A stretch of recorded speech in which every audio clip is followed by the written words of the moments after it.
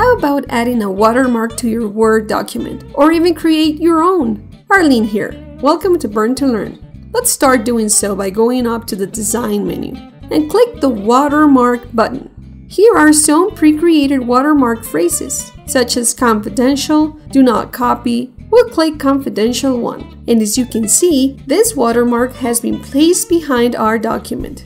But what if we want to create our own? We'll show you how to do so. We'll undo this one and click the watermark button again. This time we'll select the custom watermark option. And let's say we want to add a picture as our watermark. Select the picture watermark option to enable the picture selection. Click on it and go ahead and choose your pic either from your computer files or even social media accounts. We'll browse from our files and select Mr. Bernie.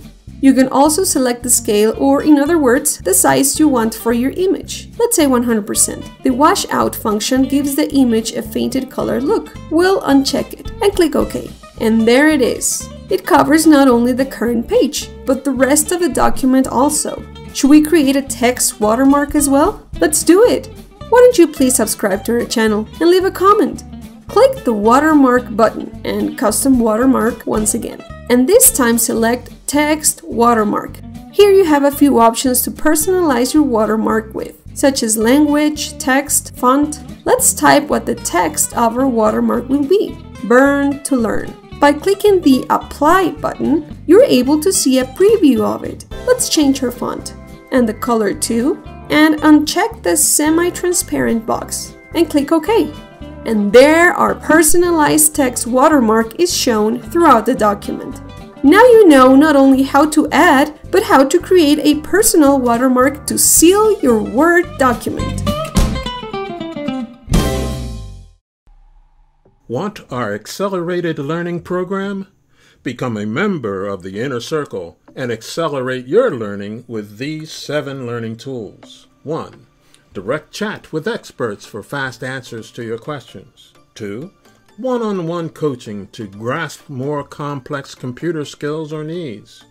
3. An interactive coding platform to teach you coding skills and concepts. 4 an exclusive video library not on YouTube to build your knowledge on many topics. 5.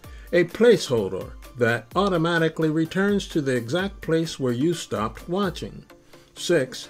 Downloadable exercise files to lock in your learning on especially tough topics. And 7. Continued access to our free videos on YouTube. So click this button to begin a 14 day free trial. After the free trial, you can join the Inner Circle for a low price of $9.99 per month. Use your free trial to look around and check us out. Then start learning computer skills on an accelerated basis on Burn to Learn.